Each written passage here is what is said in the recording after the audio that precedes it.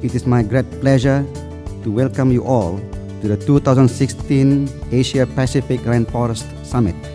I would like to acknowledge with thanks the invaluable support provided by the Australian government in co-organizing this year's Asia Pacific Rainforest Summit.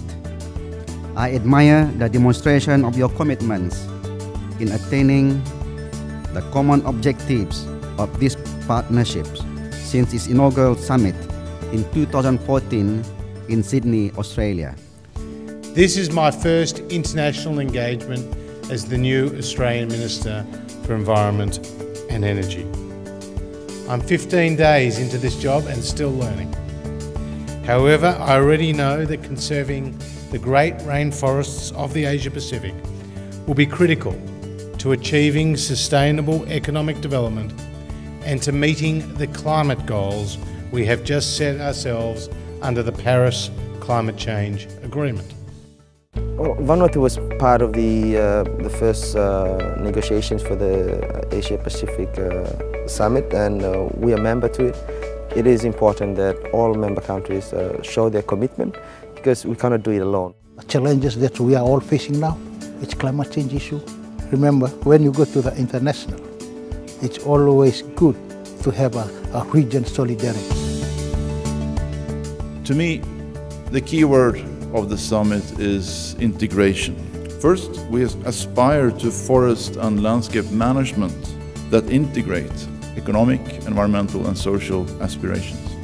Secondly, the summit is a conscious effort for integrating public, private and people actors in achieving real impact.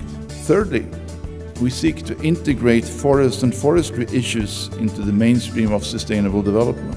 What's been really interesting since the Paris Agreement is that it's taken forest and landscape conservation and the sustainable management and, and parked it really in the center of the climate change discussions. Right now, in relation to REDD+, there is no financial mechanism in place to join or to work together with private sector. So we need to create this, that's number one. And number two, uh, uh, more uh, global procurement policy who support private sectors. What are the incentives in the market? Um, we need to create that.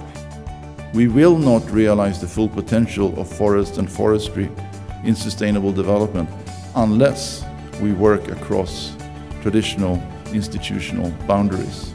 Bringing together people and their expectations to find good solutions in landscapes, including forests, is therefore to me the best investment we can make for future generations.